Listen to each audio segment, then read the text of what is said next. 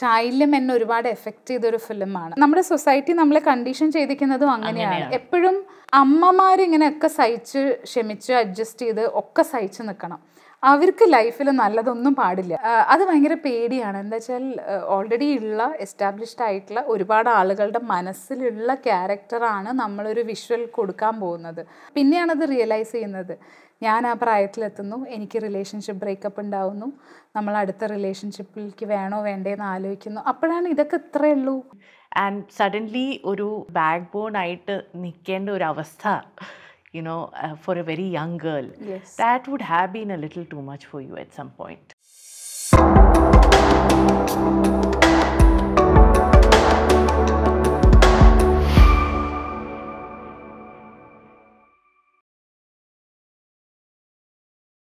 Hello and welcome everyone to our show Anu അനുവിനെ ഞാൻ ഇതിനു മുമ്പ് ഐ തിങ്ക് നമ്മൾ കാര്യമായിട്ട് സംസാരിക്കുന്ന ഏകദേശം രണ്ട് വർഷം മുമ്പാണ് ഞാൻ ഈ യൂട്യൂബ് ചാനൽ തുടങ്ങാൻ നേരത്ത് എസ്റ്റാബ്ലിഷ്ഡ് യൂട്യൂബർ എന്ന നിലയ്ക്ക് അന്ന് അനുയാത്ര എന്ന ചാനൽ നടത്തിക്കൊണ്ടിരുന്ന അനുമോളിനെ വിളിച്ച് ഞാൻ കുറേ പോയിന്റേഴ്സ് എടുത്തത് എനിക്ക് ഓർമ്മയുണ്ട്. സോ എന്റെ ഗുരുവാണ് യൂട്യൂബിന്റെ കാര്യത്തിൽ.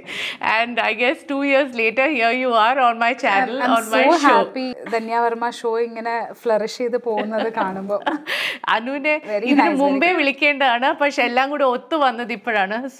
Thank you for all the help that you provided me that day and I'm forever indebted to you Oh my God, thank you. Anu ഈ ഒരു ഇൻഡസ്ട്രിയിൽ you been here for such a long time ഒരു decade and more almost fourteen 14 years years, അല്ലേ?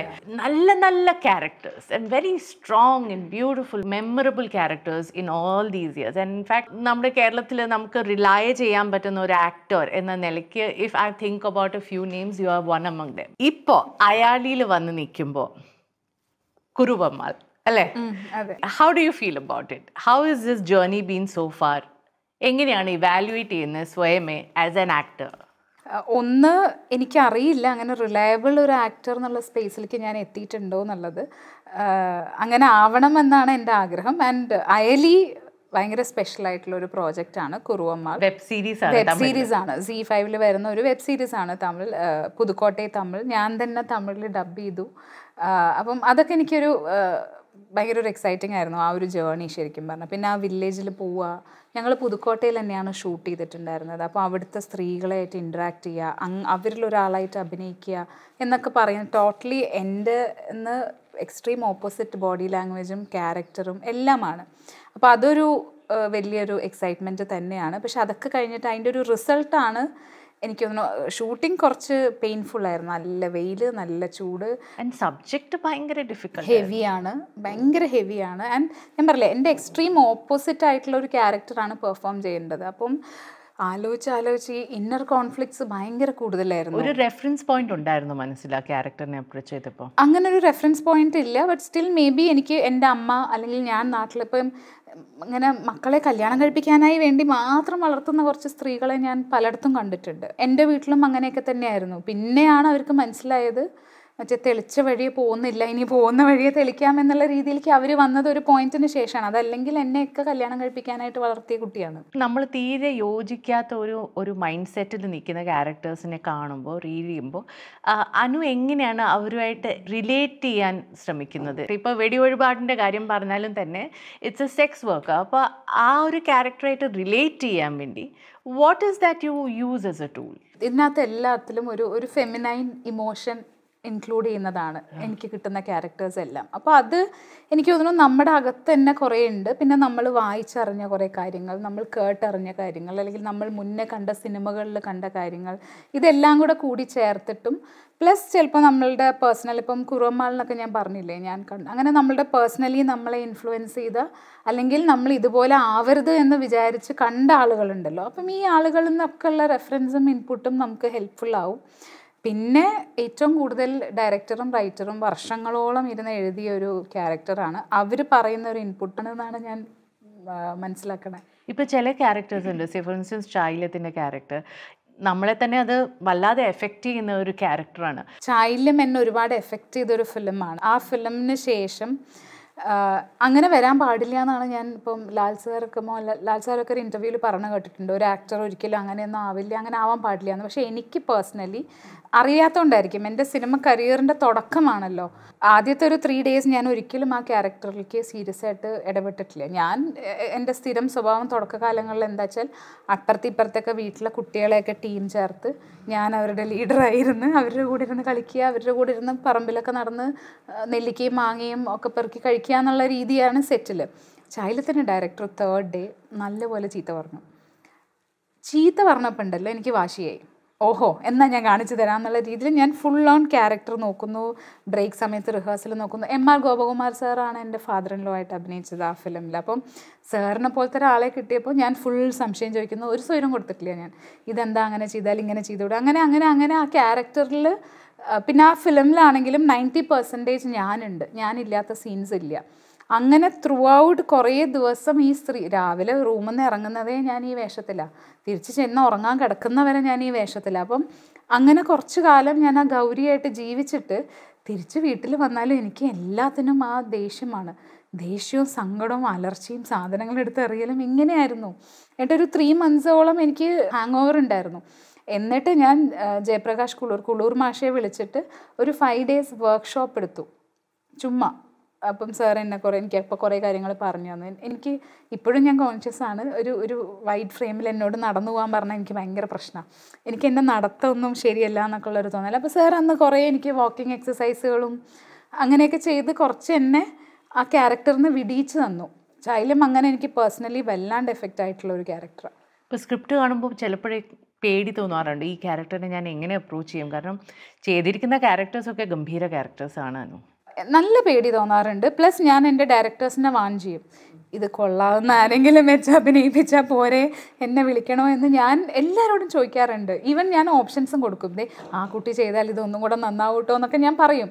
അപ്പോൾ അവർ പറയും ഇല്ല നമുക്കിത് അനു ഓക്കെയാണ് അപ്പോൾ ഞാൻ പറയും നിങ്ങൾക്ക് കോൺഫിഡൻസ് ഉണ്ട്. എന്നെ കൊണ്ട് ചെയ്യിപ്പിക്കാൻ പറ്റിച്ചാൽ ട്രൈ ചെയ്യാൻ ഞാൻ റെഡിയാണ് അതുപോലെ ഈ എഴുതിയിട്ടുള്ള ക്യാരക്ടേഴ്സ് അതായത് യക്ഷി അതിന രാഗിണി എന്നുള്ള ക്യാരക്ടർ എഴുതി വെച്ചിരിക്കുന്ന ക്യാരക്ടേഴ്സ് അപ്രോച്ച് ചെയ്യാൻ ഇത്രൂടെ ഡിഫിക്കൽട്ട് ആവില്ലേ? കാരണം ഒരു വൈഡ് എക്സ്പാൻസ് ആണുള്ളത്. പേടിയാണ്.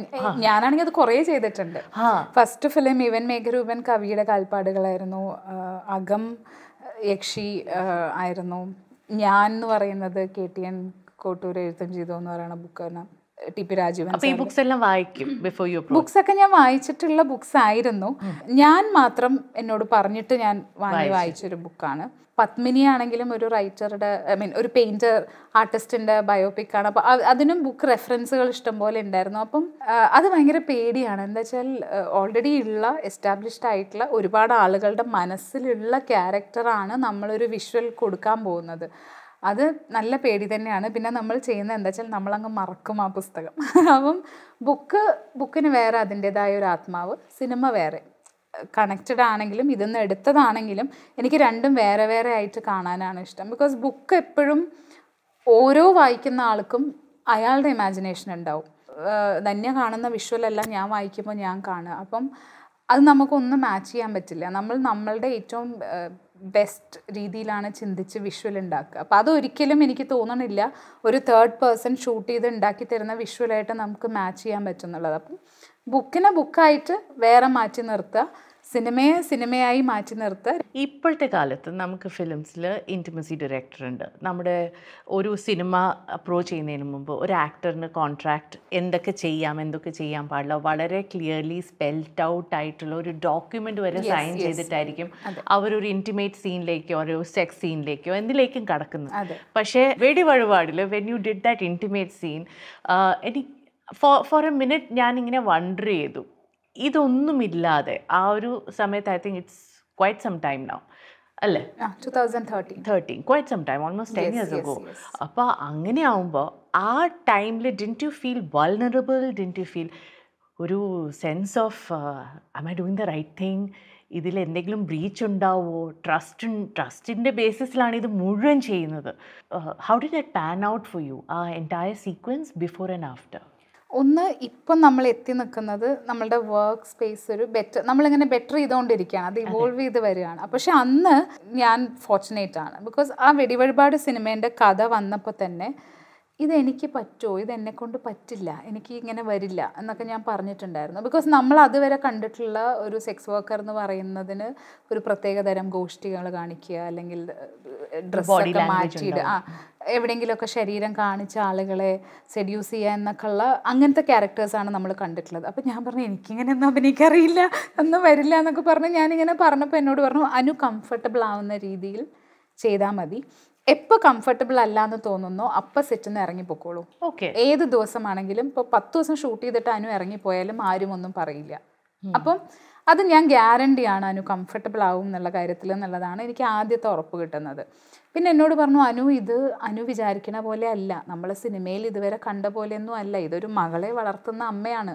അങ്ങനെ നമ്മൾ എല്ലാ സെക്സ് വർക്കേഴ്സും ഇങ്ങനെ കാണിച്ചോളണമെന്നില്ല നമുക്ക് നമ്മൾ അറിയാണ്ട് നമ്മൾ കണ്ടുപോയ ഒരുപാട് ആളുകൾ ചിലപ്പം അങ്ങനെ ഉണ്ടായിട്ടുണ്ടാവും അതൊരു ഡയറക്ടേഴ്സ് പോയിന്റ് ഓഫ് വ്യൂ അതെ. പക്ഷെ ഒരു കോ ആക്ടറുമായിട്ട് ഒരു അത് കഴിഞ്ഞ് ഞാൻ സെറ്റിൽ എത്തുമ്പോൾ ഈവൻ ആ സിനിമേന്റെ സ്ക്രിപ്റ്റ് വായിച്ചപ്പം അതിലൊരു ബാച്ചവൽ എടുത്ത് വരുന്ന സീനുണ്ട് ഇന്ന് ഐ ഡോണ്ട് മൈൻഡ് ഞാൻ ഇന്ന് എനിക്ക് തോന്നുന്നു ഷോർട്ട് ഷോർട്ട്സും ഷോർട്ട് ഡ്രസ്സുകളൊക്കെ ഇടുന്നുണ്ട്. പക്ഷെ അന്ന് എനിക്ക് അതിനൊരുള്ള ധൈര്യം ഉണ്ടായിരുന്നില്ല. അപ്പം ഞാൻ അവരോട് പറഞ്ഞു എനിക്ക് ഈ ബാത്ത് ടവൽ എടുക്കാൻ ഞാൻ കംഫർട്ടബിൾ അല്ല. അതിന് കുറച്ച് ഒരു മുട്ടിന്റെ താഴെ ഇറക്കാക്കി തരുമോ ചോദിച്ചു. അവർ രണ്ട് ബാത്രവൽ കൂട്ടി തയ്ച്ചു തന്നു. അപ്പോൾ തുടങ്ങും മുന്നേ തന്നെ എനിക്കൊരു കോൺഫിഡൻസ് വന്നു. That you are taken care yes സെറ്റിൽ വന്നു കഴിഞ്ഞപ്പം പിന്നെ ഞാനവിടെ എനിക്ക് എനിക്ക് ഞാനിങ്ങനെ പ്രിൻസസിനെ പോലെയായിരുന്നു. ചുറ്റും എല്ലാവരും മെയിൽ ആക്ടേഴ്സാണ് എന്റെ കോമ്പിനേഷൻ മുഴുവൻ വരുന്നത്. എന്റെ ഒരു കംഫർട്ട് സോൺ അല്ല ഡയലോഗ്സ് ആയാലും പെർഫോമൻസ് ആയാലും ഒക്കെ. അപ്പം ഞാൻ എന്റെ ഒരു കംഫർട്ട് സോൺ ബ്രേക്ക് ചെയ്ത് ചെയ്യുവാണ്. അത് അറിഞ്ഞിട്ടാണോ അത് അറിയാണ്ടാണോ എന്നറിയില്ല. എല്ലാവരും ഈ പറയണ പോലെ ഞാൻ ഞാൻ രാജകുമാരിയായിരുന്നു ആ എന്നെ എല്ലാവരും ഭയങ്കരമായിട്ട് എല്ലാ കാര്യം ഞാൻ കംഫർട്ടബിൾ അല്ലേ ഞാൻ ഓക്കെ അല്ലേ പ്രൊഡക്ഷൻ സൈഡിൽ നിന്നായാലും ഡയറക്ഷൻ ഡിപ്പാർട്ട്മെന്റിൽ നിന്നായാലും മേക്കപ്പ് കോസ്റ്റ്യൂം കോ ആക്ടേഴ്സ് എല്ലാവരും ഫാമിലി വീട്ടിൽ നമ്മൾ എങ്ങനെ ടേക്ക് കെയർ ചെയ്യുന്നു അതിനേക്കാൾ നന്നായിട്ട്. ഞാൻ ആലോചിക്കുന്നത് എത്ര കുട്ടികൾക്കാണ് ഈ ഒരു ഭാഗ്യം ഉണ്ടാകുന്നത് കാരണം പലപ്പോഴും ഈ ഒരു ട്രസ്റ്റിന്റെ ബേസിസിൽ ചെയ്യുന്നത് ട്രസ് പാസ് ചെയ്യുന്നത് ഇപ്പോഴും നമ്മൾ കഥ കേൾക്കുന്നു നമ്മൾ ഇഷ്ടം പോലെ കഥ കേൾക്കുന്നുണ്ട്. ലക്കിലി ഞാൻ അതാ പറഞ്ഞത് എനിക്കൊരു നല്ല ടീമായിരുന്നു അത്. ഇത് തന്നെ അതിശയം. You know because you are called bold but ഞാൻ എപ്പോഴും അനുവിനെ കാണുമ്പോഴും അനുവിന്റെ വീഡിയോസ് കാണുമ്പോഴും അല്ലാതെ ഞാൻ നമ്മൾ സംസാരിച്ചിട്ടുണ്ട് ഇടയ്ക്ക്. എനിക്ക് എപ്പോഴും ഒരു തോന്നിയത് you completely a soft romantic kind of a person you poetic kind of a person ഈ ലോകത്തൊന്നും അല്ല do you find it funny എല്ലാവരും ഇങ്ങനെ ബോൾഡ് വിളിക്കും ശരിക്കും. ഞാൻ ചിലപ്പോൾ ചോദിക്കും എന്ത് കണ്ടിട്ടാണ് അങ്ങനെ പറയണതെന്ന് അപ്പം ഞാൻ മനസ്സിലാക്കുന്നത് ഈ ഇതാണ്. ഈ ഇപ്പം ചായലത്തിലാണെങ്കിലും മെൻസ്ട്രൽ ബ്ലഡൊക്കെ ഡ്രസ്സിൽ ഫുള്ളായിട്ടും അത് റിലേറ്റഡ് ഒരു സിനിമയും. അന്നത്തെ കാലമല്ലേ? ഒരു ടു തൗസൻഡ് ലെവനിലാണ് അത് ഷൂട്ട് ചെയ്യണത് അപ്പം അന്നൊന്നും എനിക്ക് തോന്നണമെന്നില്ല ഇന്ത്യൻ സിനിമയിൽ അങ്ങനെ വന്നിട്ടുണ്ട് എന്നുള്ളത്. അപ്പം അത് ചെയ്തു ഞാൻ. അപ്പം തന്നെ ആൾക്കാർ ഓഹോ ഇതൊക്കെ ഇങ്ങനെ കാണിച്ചു നടക്കാൻ മാത്രം ധൈര്യമുള്ള കുട്ടിയോ? എന്നുള്ള രീതിയിലാണ് സംസാരിക്കുന്നുണ്ടായിരുന്നത്.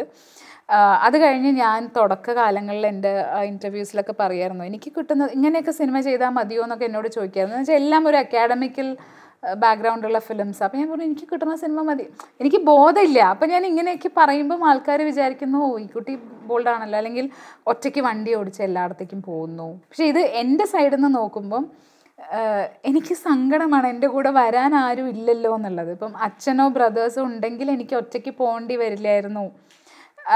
പക്ഷെ അത് ഇന്നവേ എന്നൊരു ഇൻഡിപെൻഡന്റ് സ്ത്രീയാക്കി എന്നുള്ളൊരു ഗുണമുണ്ടെങ്കിൽ തന്നെ ആ ചെറുപ്പത്തിലൊക്കെ നമുക്ക് ഉണ്ടാവുമല്ലോ ഒരു ഒരു ഒരു ഒരു ഗൈഡൻസ് ഒരു കെയർ ഒരു കൈ അത് കിട്ടണം എന്നുള്ളത്. അത് സപ്പോർട്ട് സിസ്റ്റം അത് കിട്ടിയിട്ടില്ല. അപ്പം എനിക്ക് തോന്നുന്നു ഞാൻ അങ്ങോട്ട് എന്റെ വീട്ടിൽ ആ സ്ഥാനത്തേക്ക് ഞാൻ അങ്ങോട്ട് വന്നു. എനിക്ക് കിട്ടിയില്ല.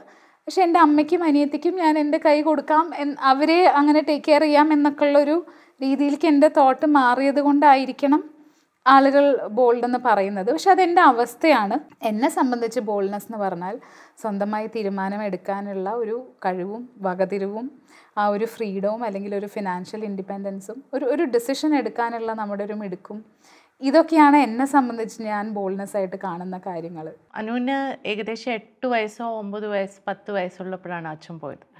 ആ ഒരു പ്രായത്തിൽ ഒരു കൊച്ചു കുട്ടി ഇതിന്റെ അതിന്റെ ഗ്രാവിറ്റി ഒന്നും മനസ്സിലാക്കാതെ അമ്മയ്ക്കും പ്രായം വളരെ കുറവ് നമ്മൾ നേരത്തെ സംസാരിച്ചു. പാനു പറഞ്ഞു she was just twenty nine and മൂത്ത കുട്ടി. ആൻഡ് സഡൻലി ഒരു വീട്ടിലെ ഒരു പ്രൊവൈഡർ അല്ലെങ്കിൽ അതിന്റെ ഒരു ഒരു ബാക്ക് ബോൺ ആയിട്ട് നിൽക്കേണ്ട ഒരു അവസ്ഥ you know, uh, for a very young girl. Yes. That would have been a little too much for you at some point. ഇപ്പോഴും എന്റെ അടുത്ത് ആൾക്കാർ എപ്പോഴും പറയാറുണ്ട് എനിക്കൊരു ഒരു മെച്ചുവേർഡ് ഫേസ് ആണ്. ഈവൻ സ്കൂളിൽ നിന്ന് ഞാനിത് കേൾക്കുമായിരുന്നു കാരണം പ്രായത്തിനേക്കാളും മെച്ചുവറിറ്റി ഉണ്ടായിരുന്നു. എന്താ വെച്ചാൽ ഒരു എയ്റ്റ് സ്റ്റാൻഡേർഡ് മുതൽ ഞാൻ ടേക്ക് കെയർ ചെയ്ത് തുടങ്ങിയതാണ്. പക്ഷെ എനിക്ക് ഈ പറഞ്ഞ പോലെ എവിടേക്കോ എനിക്ക് കുറേ ഭാഗ്യങ്ങൾ ഉണ്ടായിട്ടുണ്ട്. ഇപ്പം ഞാൻ പല സിനിമയിൽ വന്നിട്ടായാലും നല്ല ആളുകളുടെ കൂടെ വർക്ക് ചെയ്യാൻ പറ്റി. അപ്പോഴാണെങ്കിലും എന്റെ വീട്ടിന് ചുറ്റുമുണ്ടായിരുന്ന ആളുകൾ എന്റെ നാട്ടിലുണ്ടായിരുന്ന ആളുകൾ അല്ലെങ്കിൽ അച്ഛൻ അബ്കാരിയായിരുന്നു. അപ്പോൾ നമ്മളുടെ അവിടെ വർക്ക് ചെയ്തിരുന്ന ആളുകൾ ഇവരെല്ലാവരും നല്ല മനുഷ്യരായിരുന്നു. അങ്ങനെ ഒരു കൂട്ടം നല്ല മനുഷ്യരുടെ കൂടെയാണ് വളർന്നത്. പിന്നെ ഈ പറയുന്ന പോലെ സാമ്പത്തിക പ്രശ്നങ്ങൾ അങ്ങനെ ഒന്നും വലുതായിട്ട് ഉണ്ടായിട്ടില്ല ഇപ്പം നമ്മൾ അധ്വാനിച്ച് കൊണ്ടുവന്നാലേ വീട് കഴിയൂ എന്നുള്ള ഒരു അവസ്ഥ അച്ഛൻ ഉണ്ടാക്കിയില്ല. നമുക്ക് കൃഷി ഉണ്ടായിരുന്നു. അല്ലെങ്കിൽ ആ നടുവട്ടം എന്ന് പറയുന്ന സ്ഥലത്തെ ബിൽഡിങ്ങുകൾ വാടകയ്ക്ക് കൊടുത്തിട്ടുണ്ടായിരുന്നു. അച്ഛൻ എല്ലാം റെഡിയാക്കി തന്നിട്ടുണ്ടായിരുന്നു. അപ്പോൾ അതൊന്ന് മാനേജ് ചെയ്യാൻ മാത്രമാണ് വേണ്ടി വന്നിട്ടുണ്ടായിരുന്നത്. അത് അമ്മയായിരുന്നു ചെയ്തോണ്ടിരുന്നത് അമ്മ അല്ല അമ്മ എന്ത് ചോദിച്ചാൽ എന്നെ പറഞ്ഞു വിടുക ചെയ്തിരുന്നത്. അങ്ങനെയാണ് എന്നെ പഠിപ്പിച്ചത്. ചെറിയ കുട്ടിയല്ലേ ഇപ്പം എന്നെ ബാങ്കിലേക്ക് വിടും. ലെറ്റർ തരും അമ്മ വീട്ടിൽ നിന്ന് മേ ബി ചെക്ക് എന്തെങ്കിലും ഉണ്ടെങ്കിൽ അത് തരും. ഞാൻ ബാങ്ക് മാനേജറെ അടുത്ത് പോയിട്ട് അങ്ങളെ അമ്മ തന്നതാ എന്ന് പറഞ്ഞാൽ അവിടെ കൊടുക്കും. അപ്പം അവരത് നോക്കും അവർ പൈസ തരാണെങ്കിൽ തരും. അല്ല എന്താ തരണ്ടേ വെച്ചാൽ അത് തരും. തിരിച്ച് അമ്മ ഇത് അങ്ങൾ തന്നതാ തിരിച്ച് വീട്ടിൽ കൊണ്ടു കൊടുക്കും. അപ്പം ഇങ്ങനെയാണ് ഓരോ സ്ഥലത്തും അമ്മ എന്നെ അയച്ചിട്ടാണ് മാനേജ് ചെയ്തുകൊണ്ടിരുന്നത്. വീട്ടിൽ വണ്ടിയും ഡ്രൈവേഴ്സും ഒക്കെ ഉണ്ടായിരുന്നു. അച്ഛന്റെ ബിസിനസ് പരമായിട്ടുള്ളത്. അപ്പം വണ്ടിയിൽ കയറിയിരിക്കുക മാമന്മാരെ എവിടെയാച്ചാൽ കൊണ്ടുപോകും അവിടെ ചെന്ന് ഇറങ്ങുക. ആ പറയുന്ന പണി ചെയ്യുന്ന ഞാനൊരു റിമോട്ടായിരുന്നു അമ്മയുടെ.